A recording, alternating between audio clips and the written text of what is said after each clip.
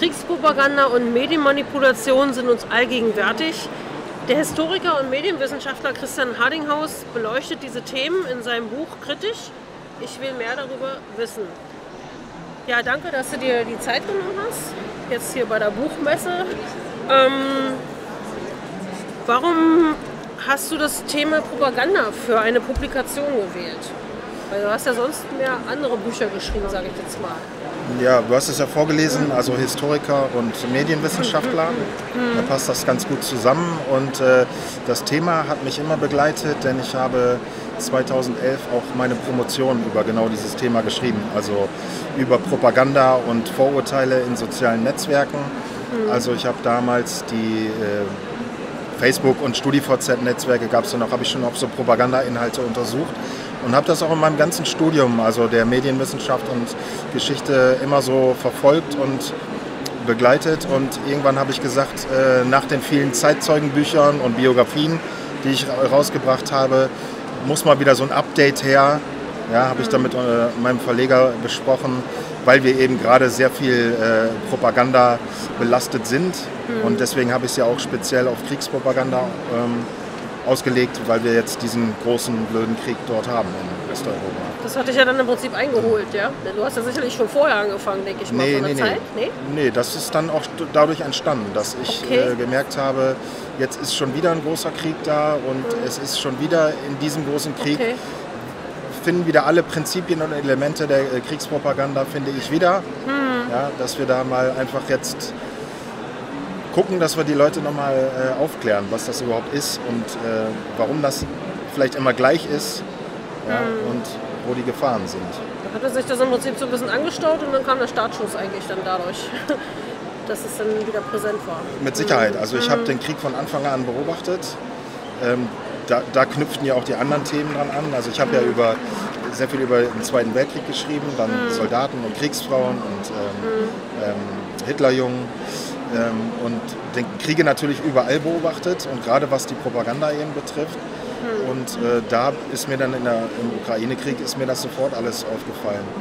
Und dann habe ich äh, gedacht, äh, das ist die Gelegenheit, vielleicht mal wieder so ein äh, größeres Buch über Propaganda zu machen oder so ein allgemeines Werk über Propaganda. Also da ist ja, ein- steht ja ein Titel jetzt drunter, erstmalig bei meinen Büchern, ähm, was Sie wissen sollten, um sich nicht täuschen zu lassen. Es hat also durchaus ein kleines bisschen Ratgebercharakter.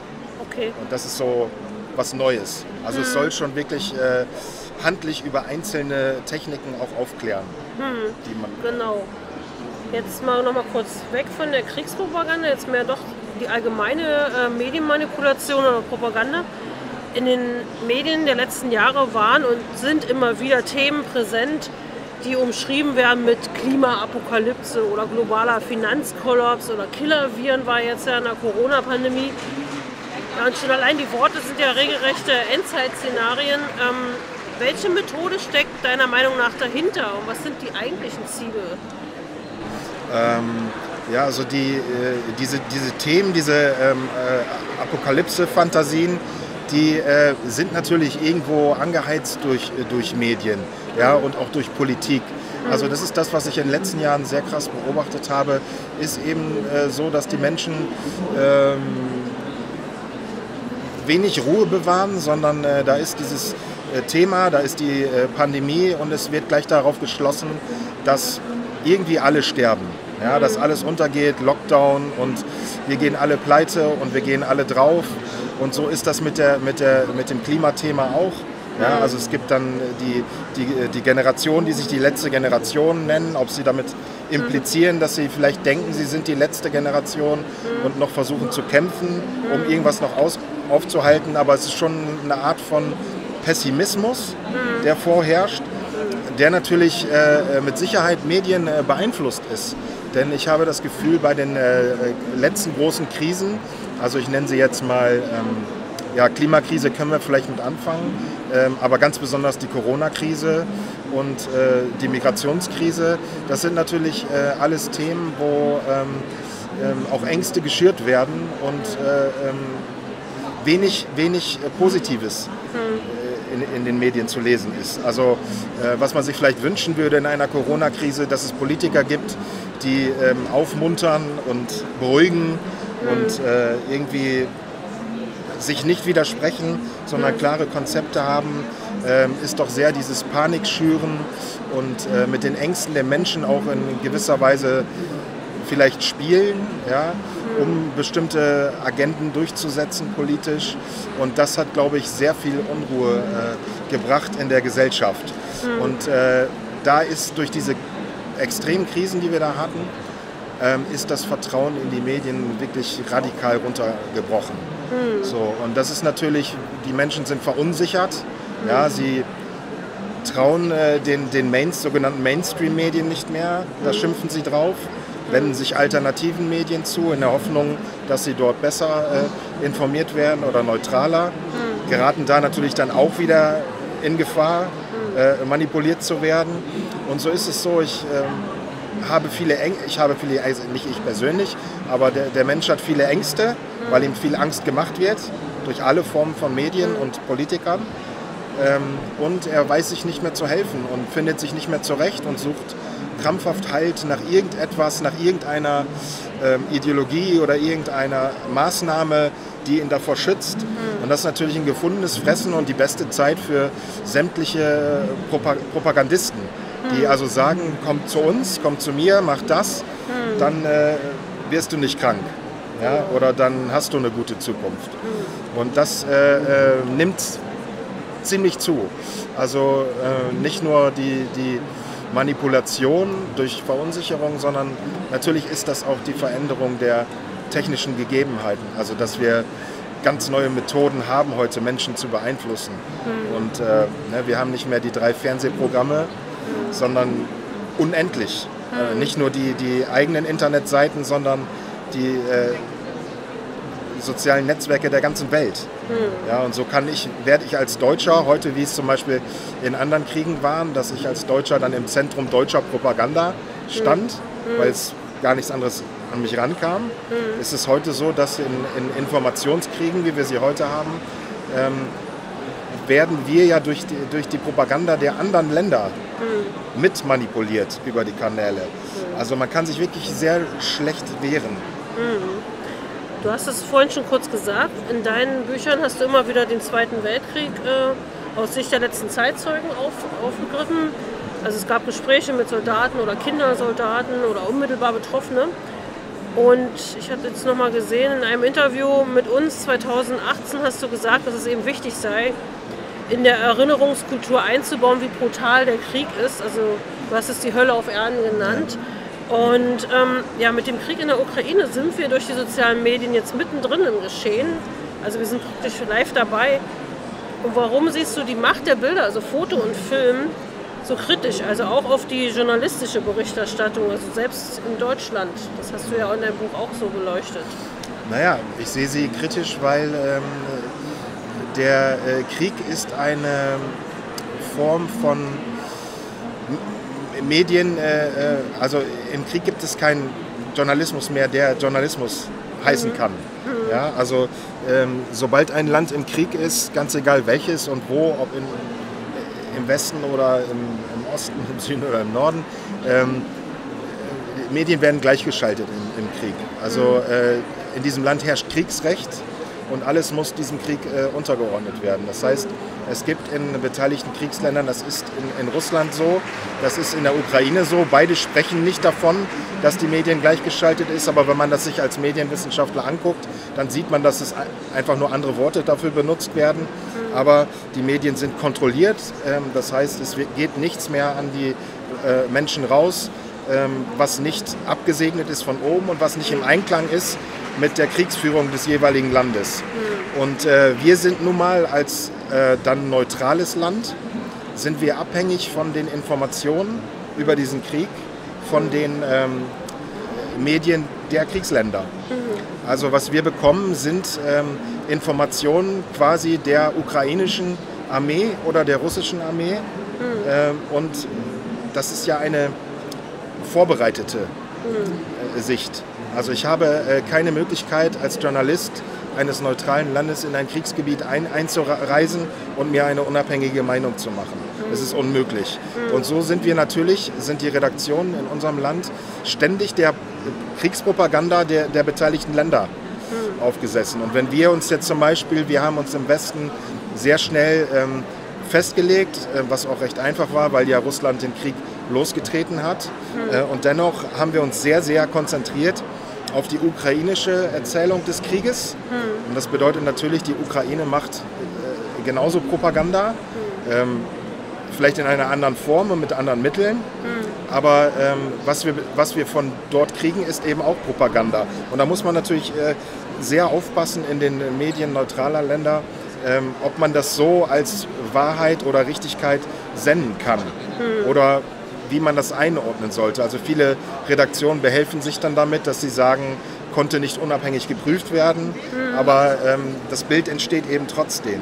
So, und so ist das auch zum Beispiel mit den, ähm, was im Irakkrieg 1990 angefangen hat, mit den sogenannten Embedded Journalists. Das sind also internationale Journalistinnen, Journalisten, die in Kriegsgebiete hineingelassen werden. Das passiert in Kriegen und man hatte damals sich davon versprochen, dass also neutrale Länder die Möglichkeit bekommen, im Kriegsgebiet zu filmen, was ansonsten unmöglich ist, weil sie nicht reinkommen würden. Aber auch das ist eine Propagandamethode des jeweiligen Staates. Denn der, äh, der unabhängige Journalist, der wird ja nur von der einen Seite eingeladen. Also der wird dann zum Beispiel eingeladen, äh, die ukrainischen äh, äh, Verbände zu begleiten. Ja, und dann So. geht ja jemand mit noch. Ne? Indem er das, indem er das tut, wird er quasi Teil diese, dieses Verbandes. Also er isst mit denen, schläft mit denen, wird von denen beschützt vor allen Dingen, genau. äh, kriegt das Leid mit, äh, erz- äh, spricht mit denen über ihre Familien und der ist nicht mehr neutral. Er kriegt ja auch was vor, also kleine Häppchen im Prinzip, ja, dass man Genau. das schon gibt. Ja, Der ja. ist psychologisch einfach äh, so beeinflusst, dass er nicht mehr in der Lage sein kann, neutral und objektiv zu berichten. Und äh, ja, dann müssen wir eben sehen, dass wir keine, also wir können eben gerade auch gar nicht uns auf irgendetwas verlassen. Wenn wir die, die, die Opfer, Opferzahlen zum Beispiel der U Ukraine, die uns die Ukraine angibt, ja, die, die Opferzahlen der eigenen Soldaten und der russischen Soldaten, es ist quasi genau umgekehrt in Russland. Ja? Also äh, man untertreibt die eigenen äh, Verluste und man äh, übertreibt die Verluste des Gegners. Und das ist eine propagandistische Ta Taktik.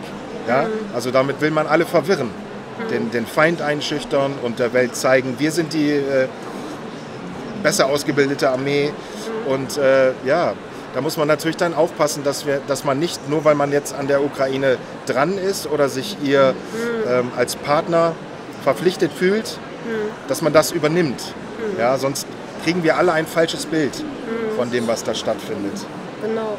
Und du hast ja auch dann erklärt in deinem Buch, das Medium selbst, Foto und Film, ist ja eigentlich auch sehr kritisch zu sehen, also eigentlich gefährlich, weil man kann ja einen bestimmten Ausschnitt nur wählen. Das hast du ganz gut erklärt. Ja. Der Perspektive, das kannst du ja vielleicht nochmal kurz sagen, was da so die Gefahr ist. Ne? Naja, also es ist die, die Kamera, vor der wir jetzt hier auch sitzen, äh, die zeichnet das auf, was sie aufzeichnen soll. Ja? Genau. Also wenn jetzt hier ähm, neben irgendwas wäre ein, ein Strand oder so, dann hätten wir hier zum Beispiel die Buchmesse gefaked, wenn er darüber schwenken würde. Das würde er dann natürlich nicht tun, weil wir die Buchmesse haben. Ja? Wir könnten also jetzt ja in einer äh, in der Kölner Innenstadt sitzen oder was weiß ich. Das ist, ein, jetzt ein, äh, ja, ist nicht drauf, alles klar. Ähm, aber das ist, ist so, die Kamera zeigt das, was sie zeigen soll und es reicht ein wirklich, das weiß der Kameramann, ein kleiner Schwenk nach links oder nach rechts und es könnte eine ganz andere Geschichte erzählt werden. Das äh, funktioniert mit äh, Filmen genauso wie mit Foto. Es bedeutet, äh, es heißt Fragmentierung. Das ist auch eine propagandistische Taktik, Methode, diese Fragmentierung. Das heißt, ich zeige, ich zeige einen bestimmten Ausschnitt, beschneide also ein, ein Bild. Äh, Es gibt da zum Beispiel ein Beispiel von einem irakischen Soldaten 2003 ähm, im Irakkrieg, der von zwei amerikanischen Soldaten ähm, flankiert wird. Ja? Und der eine gibt ihm was zu trinken und der andere hält ihm sein Gewehr an den Kopf. Also von der einen Seite. Und dieses Bild kann äh, je, jeweils verschiedene Eindrücke verschaffen, indem man den einen Soldaten ausschneidet. Mhm, Also man kann dann quasi das Bild nehmen und hat nur noch den Amerikaner mit der Knarre. Dann kann man also zeigen, seht her, die, äh, äh, die amerikanischen Soldaten äh, verüben Massaker oder bedrohen Gefangene oder sonst irgendwas. Und die andere Seite kann zeigen, das wäre dann die amerikanische, wir gehen sehr, sehr human mit den Irakern um, indem wir ihnen Wasser geben. Ja? Und man müsste also dieses ganze Bild zeigen, um tatsächlich äh, sehen zu können, ja, dass von beiden etwas da ist. Aber das will die Propaganda ja nicht, weil sie hat eine Intention. Die irakische Propaganda möchte dann eben darstellen, die Amerikaner sind böse und die Amerikaner möchten sich als gut darstellen. Ja? Und das sind ganz einfache Bilder und das findet täglich statt. Das haben wir in allen Kriegen und äh, ähm, das ist, ja, das ist sehr äh, erfolgreich, diese, diese ja, das ist eine äh, klassische Manipulation. Deswegen sollte man sich vielleicht auch verschiedene Quellen angucken. Oder wie? wie Ja, so, so, so weit möglich sollte man, äh, ich, ich bin der Meinung zum Beispiel, dass man äh, Medien sehr breit konsumieren sollte und ähm, ähm, es, äh, wenn jemand sagt, ähm, diese oder jene Programme ähm, darfst du nicht gucken oder d- der Kanal ist nicht zu empfehlen, ja, also wenn dann jemand sagt, ähm, wir dürfen alternative Medien nicht gucken, die machen nur Propaganda, so.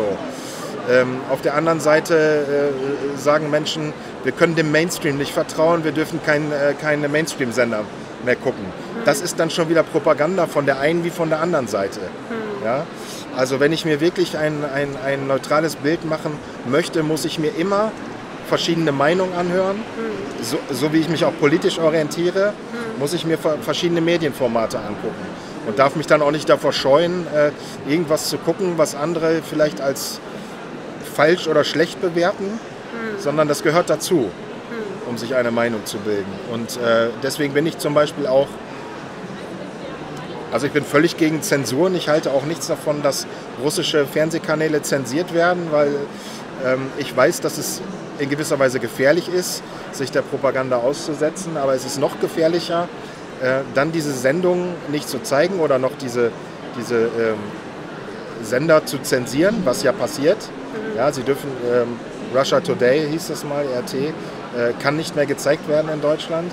Aber die, die, die, die es sehen wollen, finden es natürlich trotzdem.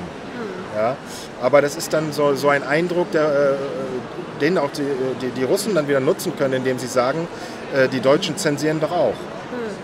Und haben sie dann ja schwarz auf weiß. Ja. Sie werden also zensiert. Und für mich ist es wichtig, dass man dann also schon ähm, die Menschen das sehen lässt, was sie sehen wollen, um sich eine Meinung zu bilden. Und man kann dann äh, darüber reden. Man kann zum Beispiel auch ganz einfach dann äh, russische Propagandamethoden oder ukrainische Propagandamethoden äh, erklären und aufklären. Ja? Also es muss ja nicht so, so wirken, aber es ist, ist in Deutschland wie mit vielen anderen Bereichen auch so, dass man hier lieber wegtut. Ja? Was man nicht sieht, das wirkt nicht und wenn man darüber nicht spricht, dann wird es schon irgendwie an uns vorbeigehen und das ist so, ähm, so eine Larifari-Einstellung, ähm, die eigentlich eher ins Gegenteil führt. Nämlich, dass man merkt, da sind äh, Medienleute, äh, die sind nicht mehr kompetent oder die wollen nicht mehr oder die können nicht. Und ähm, so suchen sich die, die Menschen natürlich andere Sender, die mutiger sind und das angehen. Ne? Du erklärst Propaganda anhand einer ganz einfachen 4M-Formel, nennst du das. Und nennst dann die Machtergreifung durch die Nationalsozialisten 1933 so als extremes Beispiel dafür. Also Stichwort dieses Ermächtigungsgesetz vom 24. März 1933. Wie zeigt sich hier Propaganda und welche Folgen hatte das auf das Volk? Also Propaganda habe ich ähm, jetzt, ich habe es in, in meinem Buch als 4M-Formel angegeben, weil man sich so leicht merken kann, weil die äh, Hauptbestandteile jeder Propaganda ähm, ist die Manipulation äh, von Mächtigen mittels Medien an die Massen. Also das sind die 4M. Massenmanipulation von Mächtigen über Medien. Ja, das ist also äh, Propaganda, äh, kann man erklären als die Versuche, ähm, Menschen, äh, also oder Massen von Menschen politisch so zu manipulieren, dass sie ähm, ihre Verhaltensweisen ändern. und das Ganze eben über Medien. Mhm. Ja, also das ist ganz wichtig, dass man sich das so klar macht, dass äh, Propaganda auf jeden Fall politisch ist. Ja, ähm, weil es wird natürlich so in der Umgangssprache wird Propaganda mit allen möglichen äh, durcheinander geschmissen. Also Propaganda und PR, allein schon dieses PR sehen viele als Abkürzung von Propaganda und dann wird auch Propaganda in der Werbung gesehen oder es wird da so kein Unterschied gemacht. Aber Propaganda unterscheidet sich wirklich maßgeblich äh, von PR und Werbung, ähm, dass, dass es eben eine politische Zielsetzung hat, ja, dass sich eine, Welt, eine Weltsicht, eine Ideologie und das Volk mischen will. Und äh, das, ist, äh, das ist in jeder Propaganda so, das ist auch in jeder Kriegspropaganda so. Diese Bestandteile bleiben gleich.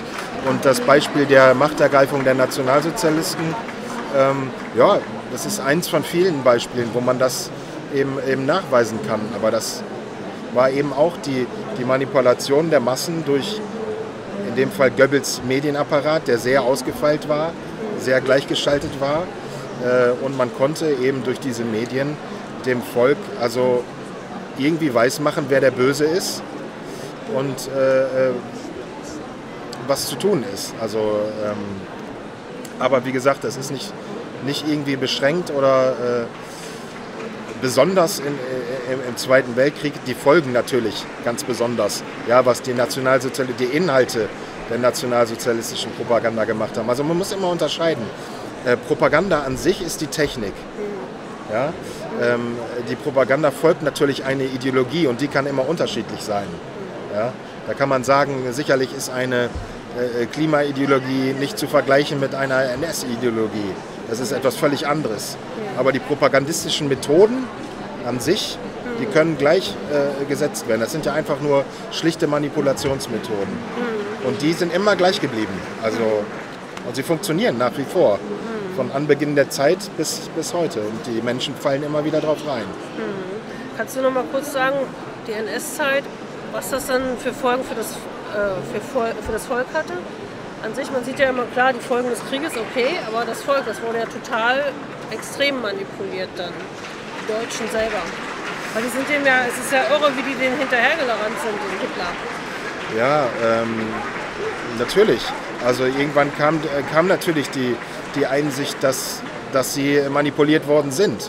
Ja, ähm, es werden auch viele, viele gemerkt haben, es haben ja ganz viele Menschen auch versucht im Zweiten Weltkrieg, ähm, sich an, in an, Auslandsquellen zu informieren, wo sie was anderes gehört haben. Und es war im Zweiten Weltkrieg, also wir hatten damals eben kein Internet oder sonst irgendwas, wir mussten das nehmen, was, was wir kriegen ja, von, von den wenigen Radiosendern und äh, Zeitungen. Und da gab es natürlich wesentlich, also im Gegensatz zu heute kaum Möglichkeiten, sich anderweitig zu informieren. Aber man hat schon, das war damals schon auch ein Krieg der Medien. Also die einzelnen beteiligten Länder, die haben alle äh, sogenannte Tarnsender gehabt, die also vorgaben, ein deutscher Sender zu sein. Es war aber ein britischer Sender, um die Menschen äh, zu, manipulieren wieder. Also ähm, es ist von allen Seiten passiert. Ähm, ich glaube, da äh, ähm, die, die Propaganda des äh, Zweiten Weltkrieges, da ist es doch, ähm, glaube ich, dann auch sehr der Inhalt gewesen, die Ideologie, die, äh, der man sich dann geschämt hat oder äh, das nicht zugeben wollte. Denn diese Propaganda, ähm, es ist dann das Zusammenspiel zwischen Propaganda und Ideologie, aber diese war nun, nun mal sehr, sehr mörderisch. Also da fällt mir kein vergleichbares Beispiel ein. Ja, also wenn man sagt, die Propaganda des Dritten Reiches, und davon bin ich überzeugt, hatte einen äh, maßgeblichen Anteil am Holocaust, ja, dass der eben möglich wurde.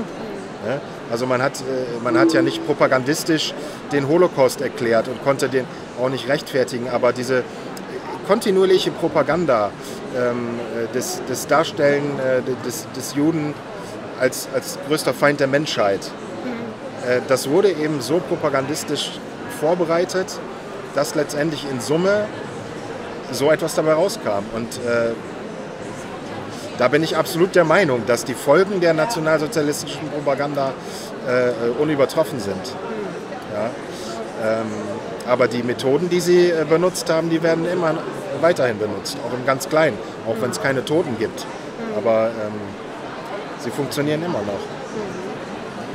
Ähm, zum Schluss, du hast es vorhin schon gesagt, es ist irgendwo auch ein Ratgeber. Das ist durch diesen Untertitel, ja. Ähm, willst du nur aufklären, aber oder vielleicht auch warnen? Ja, das möchte ich natürlich beides. Beides. Also das Buch ähm, ist so geschrieben, dass ich natürlich erstmal äh, erkläre, was ist Propaganda und wie ähm, hat der Begriffswandel stattgefunden, was hat man früher darunter verstanden. Also heute versteht man etwas Negatives. Ja? Man hätte zum Beispiel nicht das Reichspropagandaministerium im Dritten Reich so nennen können, wenn die Deutschen damals Propaganda als etwas Negatives verstanden haben. Da war es also mehr so der Stellenwert der Werbung. Das hat sich gewandelt durch diese Kriege, Erster, Zweiter Weltkrieg. Und das ist eben der, so ein bisschen der theoretische Teil, wo ich über die Geschichte von Propaganda schreibe und auch die Abgrenzung zu anderen Disziplinen. Und dann ist ein großer Teil dieses Buches und deswegen ähm, ist das so, sage ich mal so Ratgebercharakter, dass ich äh, im Gesamten 115 propagandistische Methoden ähm, aufzähle und erkläre, was das ist.